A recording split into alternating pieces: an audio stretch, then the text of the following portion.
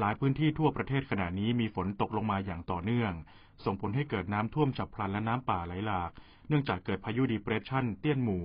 ซึ่งขณะนี้เริ่มอ่อนกำลังลงเป็นหย่อมความกดอากาศต่ำกำลังแรงแล้วนะครับ ซึ่งหลายหน่วยงานที่เกี่ยวข้องต่างเร่งให้การช่วยเหลือประชาชนที่ได้รับผลกระทบอย่างเต็มที่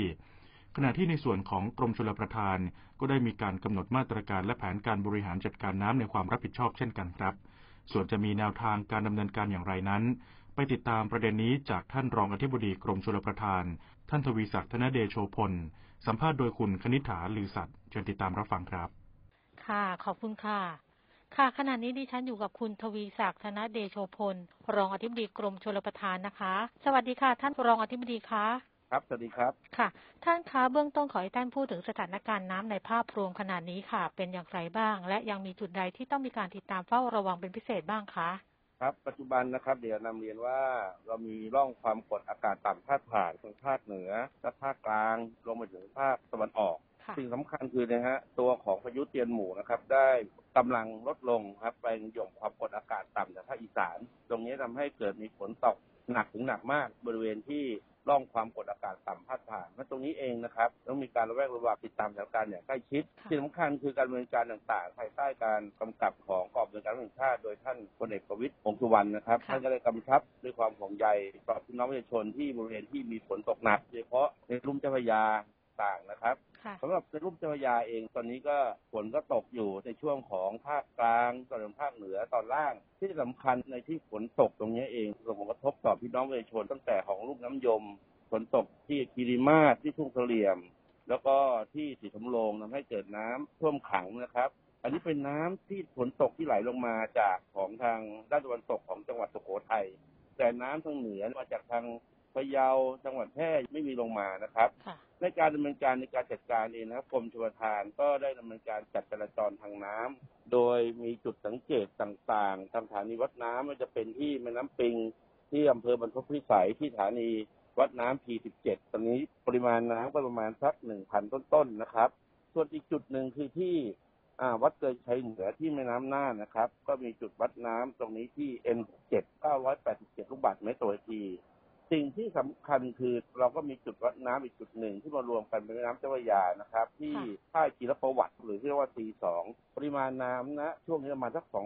2,172 ลูกบาศก์เมตรต่อนาทีนะครับเราก็มีการแบ่งปันน้ำในการจัดจราจรทางน้ำโดยเฉพาะที่เขื่อนเจ้าพระยาเองนะครับ เอาน้ำออกทางด้านซ้ายด้านขวาของเขื่อนเจ้าพระยา แล้วก็ระบายทางตรง หลักการทางด้านซ้ายมือของแม่น้ำเจ้าพระยานะครับ ก็คือมาทางคลองชัยนาทป่าสักถ้าเรายืนตามน้ำอยู่บนเขื่อนก็ออกไปทางคลองชัยนาทป่าสักแล้วเสร็จก็เราก็ปัดน้ำจากแม่น้ำป่าสักออกเจ้าพระยา เราไม่เอาลงทางตรง ไม่เอาทางผ่านทางคลองแล้วพีพัดแยกใต้ไม่ผ่านทางคลอง13หรือคลองพระองค์เนื่องจากตอนเนี้ยบริเวณฝั่งกทมฝั่งตะวันออกก็มีฝนตกอยู่ด้วยค่ะเราก็ต้องมีการผันน้ำออกทางแม่น้ำเจ้าพระยา เพื่อที่อ้อมนะครับไม่ให้เจอที่อยุธยานะครับอืมส่วนอีกทางหนึ่งครับเราก็ไปทางฝั่งตะวันตกของแม่น้ำเจ้าพระยาคือไปทางแม่น้ำท่าจีนนะครับ แม่น้ำน้อยตลอดจนคลองมะขามเท่าอู่ทองคลองมะขามเท่ากระเสียว ก็จะเร่งระบายน้ำออกทะเลนะครับ ทั้งสองฝากฝั่งเนี่ยเราก็ระบายประมาณสัก400ลูกบาศก์เมตรต่อนาที ส่วนที่เหลือเราก็จะระบายตรงทับท้ายเขื่อนเจ้าพระยา ปัจจุบันเองก็ระบายประมาณสัก2,160ลูกบาศก์เมตรต่อวินาทีนะครับค่ะ การระบายน้ำต่างๆนะครับเราสามารถควบคุมได้ เพราะความจุลำน้ำของเจ้าพระยาเอง ที่ใช้เขื่อนเจ้าพระยาสามารถรับน้ำได้ถึงประมาณ 2,840 ลูกบาศก์เมตรต่อนาทีนะครับ ที่สำคัญนะครับในช่วงของจังหวัดปทุมธานีนนทบุรีหรือกทมก็สามารถรองรับน้ำได้ประมาณ 2,500 ลูกบาศก์เมตรต่อวินาทีถึง 3,000 ลูกบาศก์เมตรต่อวินาทีเราก็ใช้ประตูของรัฐโพ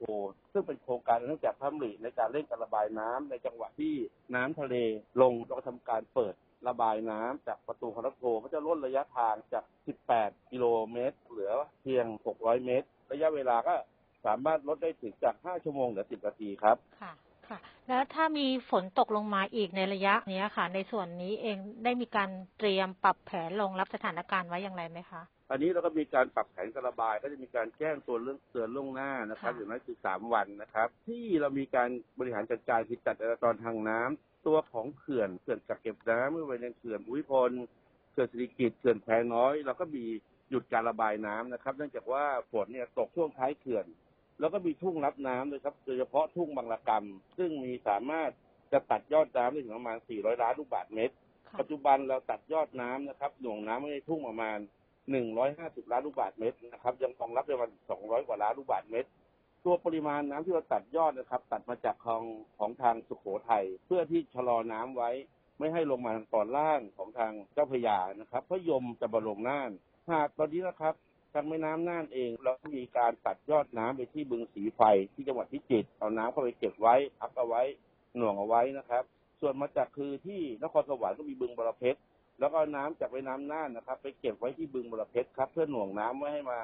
ให้ชะลอน้ำไม่ให้ลงมาบรรจบอยู่ที่เขื่อนเจ้าพระยาครับค่ะในส่วนของทางชลประทานจังหวัดแต่ละจังหวัดนี้เราได้มีการกำชับอะไรเป็นพิเศษไหมคะ ประเด็นตรงนี้นะครับทางกรมชลประทานโดยการกำกับของท่านรัฐมนตรีว่าการกระทรวงเกษตรกรท่านได้สั่งการตั้งแต่ต้นฤดูฝนแล้วค่ะตั้งแต่เดือนเมษานะครับ มีการวิเคราะห์ในพื้นที่เสี่ยง การมีการกำหนดคนตลอดจนเครื่องไม้เครื่องมือต่างๆ เช่น